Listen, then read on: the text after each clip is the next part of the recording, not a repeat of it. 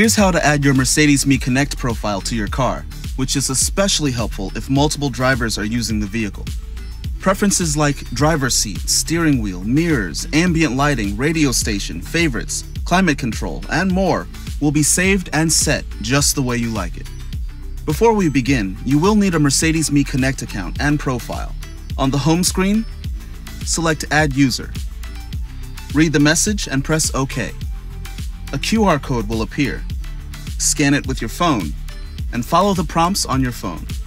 Your car will connect with your Mercedes Me account and your profile will appear on the center display. Use the Setup Assistant to set your desired preferences. If you want to make further changes, return to your profile and press Sync User Profile to save these new settings. In addition, over time, the intelligent MBUX system will learn your preferences, previous destinations, phone calls, and offer up helpful suggestions. To add additional user profiles, just repeat the process. Now that your profile is set up, you and your Mercedes-Benz are even more perfect for each other.